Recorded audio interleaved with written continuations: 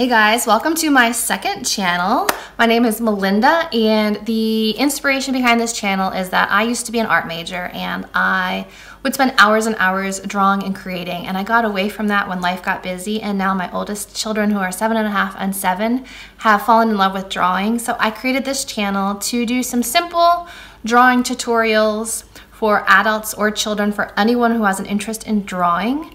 So I'm so glad that you found my channel. So let's dive right in with our first drawing tutorial.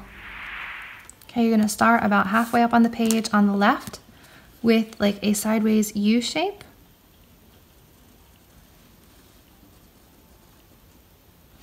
And then we're gonna connect these two lines. That is the beginning of the nose. We're gonna do a little nostril here like a little tear shape with a tail. Fill it in.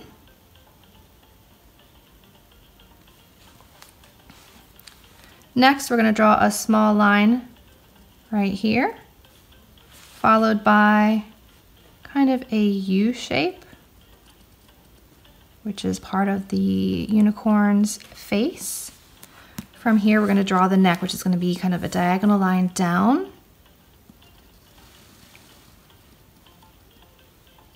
Then we're going to curve around and up. Okay, so we have the nose, the cheek, and now the neck. We're going to come up here and finish the rest of the head. A slight line angled up.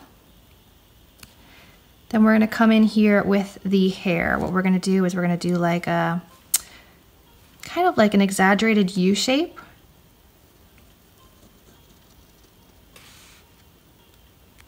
and then we're going to draw a line up from there and then we're going to go around the top with that same exaggerated U shape to make the part of the mane. There's the unicorn's first piece of hair in the mane. Then we're going to come up here and draw in the unicorn horn. So we're just going to do a diagonal line up and down.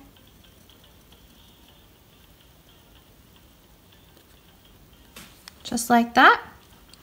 Over here, we're gonna use the, we're gonna use this line here to form the unicorn's ear.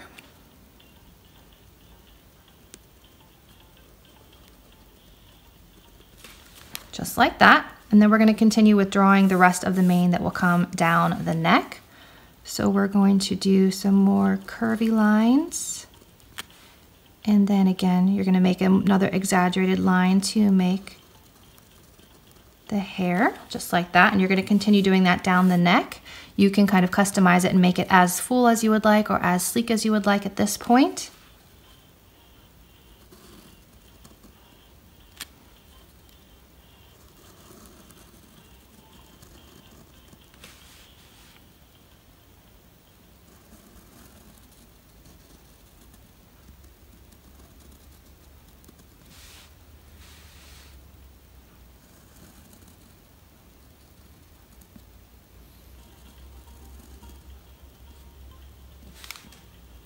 There we have the mane completed.